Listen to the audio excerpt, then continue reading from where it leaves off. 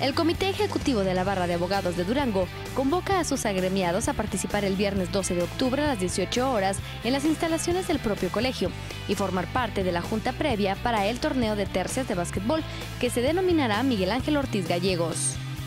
Las inscripciones están abiertas esta semana en el Colegio de Abogados con Omar Sierra y Pedro Esquivel. Serán gratuitas. Habrá premios para los tres primeros lugares.